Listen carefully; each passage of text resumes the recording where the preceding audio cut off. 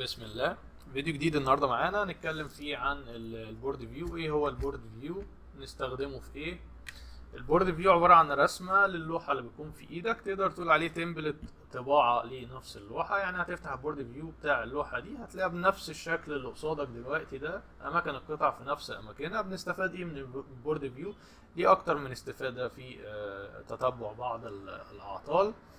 الاستفادة الأولى معرفة أماكن القطع يعني مثلا أنا بحثت عن آه، أو تتبعت عطل على مخطط ففي مقاومة أنا مش عارف مكانها هنا قعدت أدور عليها مش موجودة أو ال- البوردة معلهاش آه، كتابة أو توضيحات لأسامي ال- العناصر أو ترتيبها على ال- البوردة فطبيعي إنك لازم تحتاج لبورد فيو بمجرد إدخال ال- الرقم بتاع العنصر ده هيعرفك آه، مكانه على البوردة.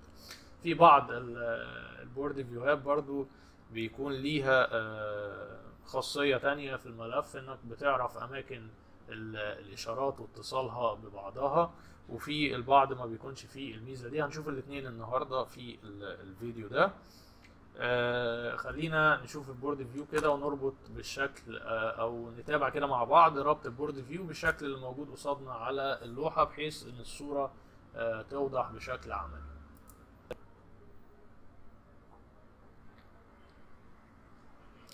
ده شكل ال board view لما بتفتحه بيكون شكله بالشكل ده. طبعا هي رسمة لنفس ال- البوردة اللي إحنا لسه شايفينها فخلينا نربطها كده ببعضيها. هي ظاهرة دلوقتي قدامكم. خلينا نربط دلوقتي الشكل ببعضه. لو افترضنا مثلا إن أنا عندي عنصر زي ده العنصر ده آه، محروق أو آه، مش موجود أو ايا كان السبب أنت مش عارف تعرف رقمه المخطط مش هيفيدك إلا لو في ترتيب لل العنصر على البوردة مكتوب عليه U واحد U اتنين U تلاتة كده. ده هيفيدك ال- المخطط. طبعا آه، هيسهل عليك ال board view في معرفة آه، ترتيب الرقم على ال- القطعة مع ال- المخطط. فلو رحنا كده ال IC اللي إحنا شايفينه دلوقتي على ال board view زي ما إحنا شايفين اهو. ادي ال connector بتاع ال keyboard اهو موجود وادي ال IC وادي رقم ال IC عن طريق الرقم ده إحنا ممكن نروح على المخطط برضو ونكتب رقم ال IC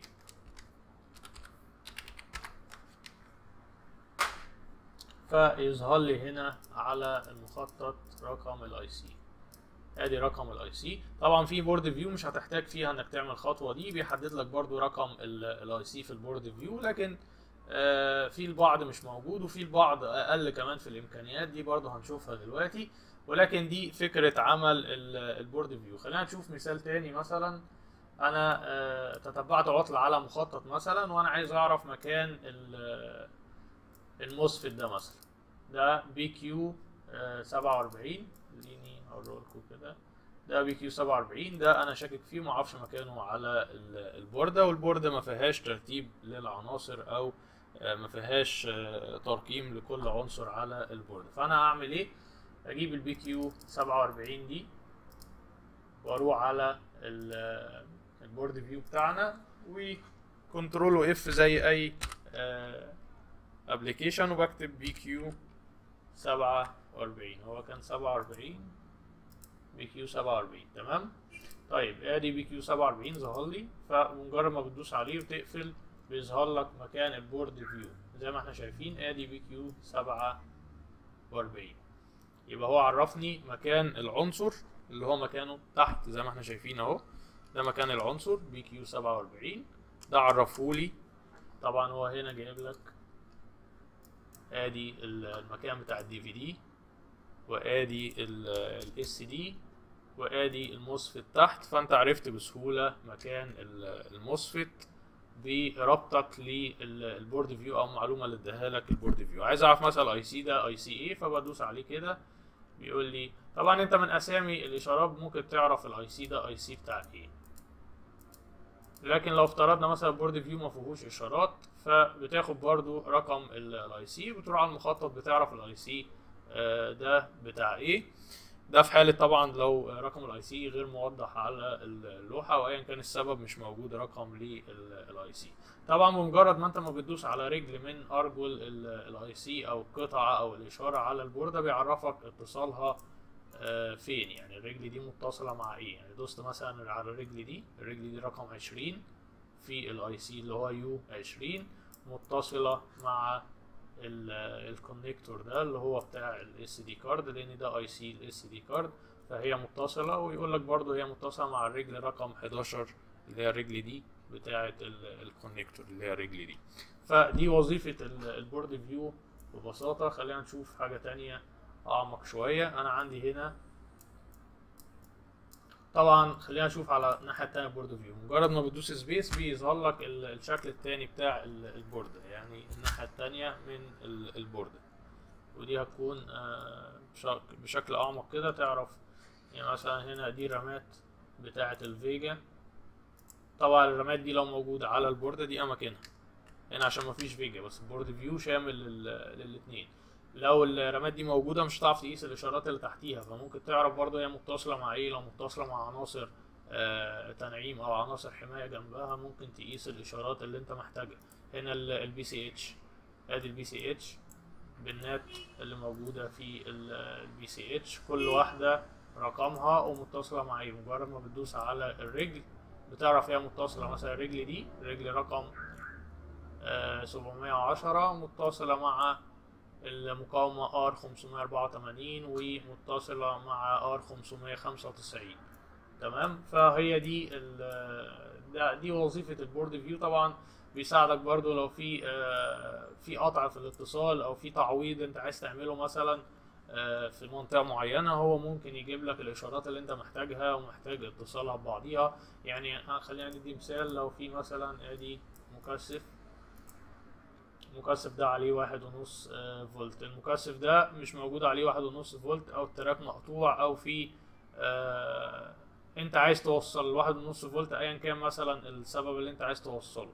فممكن تجيبها الواحد ونص فولت دي من أماكن كتير زي ما إحنا شايفين. آدي نقاط موجودة على البوردة وآدي برضو ال IC ده وآدي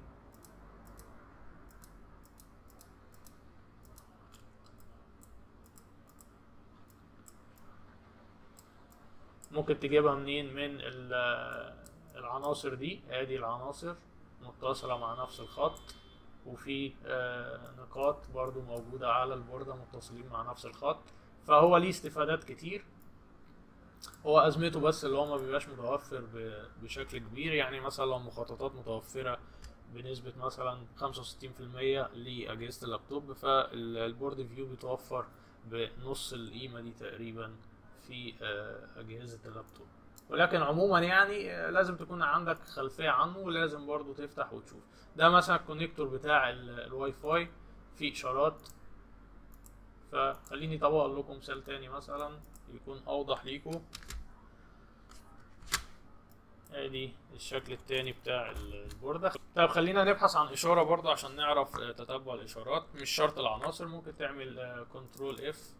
بحيث تعمل بحث تبحث عن إشارة مثلا الأرسم مثلا إشارة الأرسم دوس عليها مرتين فبيعرفك إن إشارة الأرسم دي pin رقم خمسة وتسعين اللي هي في ال IO pin رقم 95 اسمها RSMRST طب هي متصلة مع إيه؟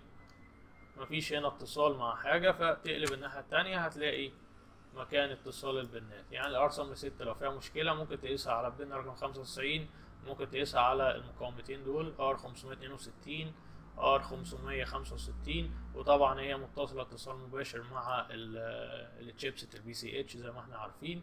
ف لو حصل آه، قاطع مثلا ناحية ال IO في الإشارة دي فأنت تجيبها منين؟ طبعا كده كده هي متصلة بالتشيبس بس يعني مش هترفع الشيبس عشان تجيب إشارة. ممكن تلاقيها متصلة بنقاط على ال- البورده أو ممكن تكون متصلة مثلا على مكثف أو على مقاومة برضو توازي آه، تشوفها تقدر تعوض أو تجيب الإشارة دي وتوصلها على ال IO فده آه، أمثلة سريعة لل ال board view. خلينا نشوف مثال تاني لل board view برضو. ده مثال تاني لل board view ده board view PDF يعني بي- بيتفتح PDF مش محتاج برامج. طبعا بيوضح لك برضو أماكن القطع لكن آه، مش بيوضح لك اتصال القطع ببعض بيوضح لك أماكن الأيسيهات أماكن المقاومات. فتقدر برضو تستفاد منه آه، زي التاني ولكن آه، بيكون فيه الإمكانيات أقل شوية ولكن برضه بيفيدك يعني. كفني أنت مش محتاج أكتر من كده. في ال- آه، أغلب الأعطال اللي بتحتاج فيها ال board view أنت مش محتاج أكتر من أماكن القطع زي ما إحنا شايفين. كل قطعة موجودة و يعني مثلا أماكن القطع دي ده دايود ده ملف diode diode آه MOSFET ات فهو بيعرف لك أماكن القطع دي ملفات. هو بيعرف لك ال- النوع والترتيب بتاع القطعة ومكانها على البوردة وفي النهاية بيكون شكل ال- ال board view بيكون برضو نفس شكل البوردة اللي انت شغال عليها فدي كانت آه، نظرة سريعة وتعريف بال board view بشكل عملي وبإذن الله يكون الفيديو آه، فادكم وإن شاء الله نشوفكم في فيديو تاني. طبعا ما تنسوش تفعلوا جرس التنبيهات بعد ال- الاشتراك في القناة بإذن الله هيجيلكوا ال- الفيديوهات الجديدة وبإذن الله إحنا ناويين ننزل أكتر من فيديو الفترة اللي جاية فتابعوا القناة على ال- اليوتيوب.